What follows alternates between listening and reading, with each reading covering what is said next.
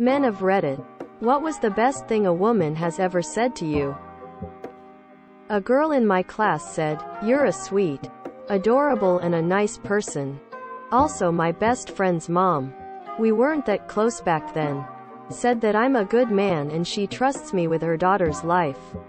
She said that if she had a son, she would have wanted him to be like me.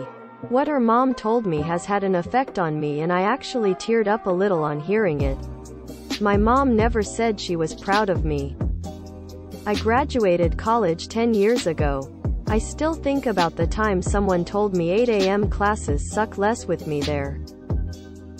My sister's cute friend said I looked handsome at my sister's wedding. Been riding that high for almost six years now. My girlfriend in college once gave a Valentine's Day card. In it, it said, I'm glad I met you. Seems a bit unromantic. Maybe. But this gal was always awkward at expressing herself. I was too. A lot of people say, I love you. And don't mean it. Sometimes they think they mean it. But when she wrote, I'm glad I met you, I knew she meant it. Like, she really meant it. She was all nervous to give me the card too. I thought it was very sweet. And I couldn't get the card out of my head for weeks.